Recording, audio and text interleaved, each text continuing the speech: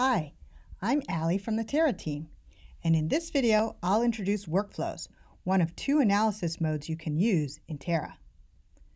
I'll go over what is a workflow, how to find the workflows you need for your analysis, and how to set up and run a workflow in a Terra workspace. What is a workflow?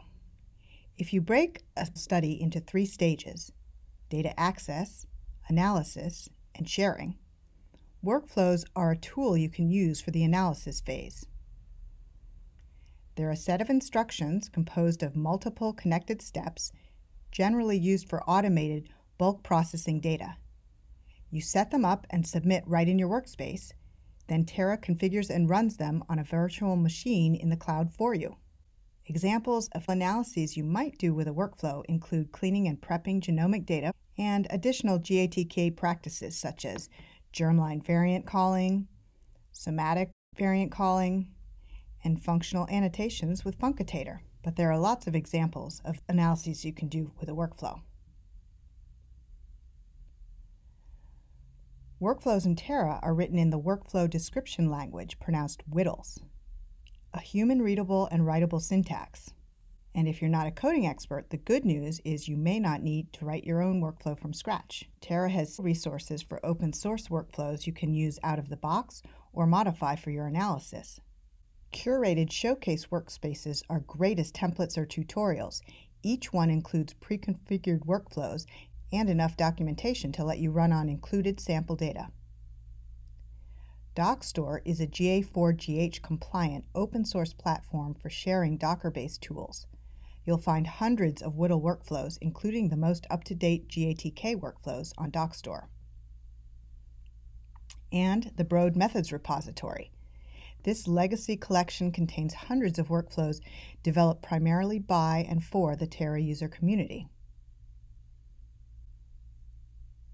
You can learn more about how to find the right workflow and bring it into your workspace by watching the video in the next steps description below. Now let's go to Terra and walk through a workflow analysis. Once you have the workflow you need, you can start your analysis from either selecting Data in the Data tab or selecting the workflow. Go to the Data tab and select the table rows that contain the data you want to run on.